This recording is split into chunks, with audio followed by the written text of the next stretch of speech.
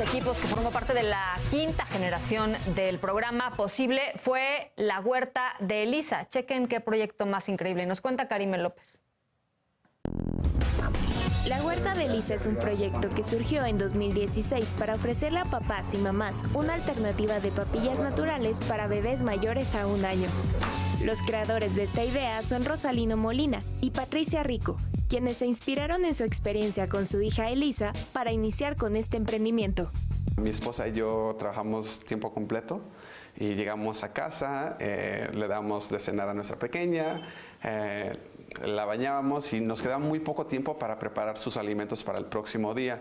Y es cuando buscamos una opción práctica y natural, que es algo que no encontramos en el mercado. Lo primero que hicieron fue realizar encuestas a padres y madres de familia para conocer las oportunidades que había en el mercado.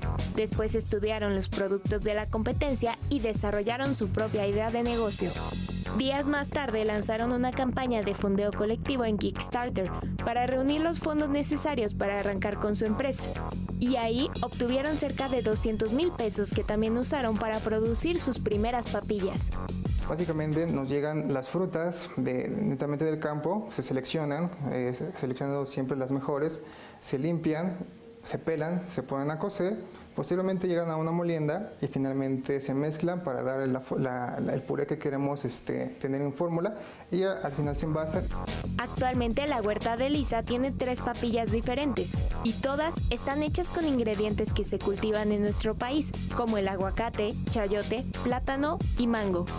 No se les añaden azúcares ni otros químicos y para que mantengan las vitaminas y minerales se utiliza un método de conservación conocido como alta presión en frío.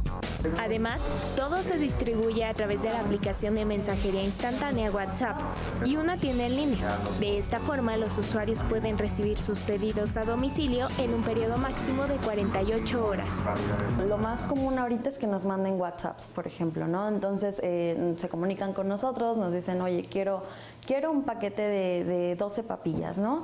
Eh, y bueno, ya lo que hacemos es que, mm, que les preguntamos pues básicamente todo lo que necesitan, ¿no? De, de, qué quieres tus papillas.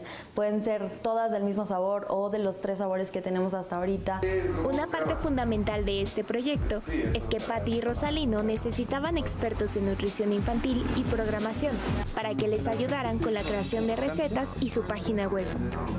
Al buscar a estos aliados conocieron a Posible, el programa de emprendimiento del que formaron parte en 2017. Aquí se vincularon con mentores que les dieron retroalimentación y también se les dio la oportunidad de presentar su idea en la Semana Nacional del Emprendedor. Gracias a esta iniciativa, a finales del año pasado fueron reconocidos por el Instituto Nacional del Emprendedor como un proyecto de alto impacto por el potencial que tienen para expandir su negocio. Somos un proyecto joven, ah, llevamos menos de 18 meses. Ah, actualmente eh, estamos viendo crecimiento en el canal digital, que es lo que sería e-commerce pero nos estamos expandiendo en el, canal tradicional, que son tiendas y supermercados. Recientemente comenzaron a distribuir sus productos en tres puntos de venta en la Ciudad de México, pero tienen planeado llegar a 60 espacios nuevos para el cierre del 2018. Respecto a sus productos, están por lanzar siete nuevos sabores, que tendrán ingredientes como la papaya, el kiwi y nopal. A mediano plazo planean desarrollar una nueva línea de papillas que podrán consumir bebés mayores a 6 meses y niños y niñas mayores a 2 años para complementar su dieta diaria. Para Fractal Posible, Karime López.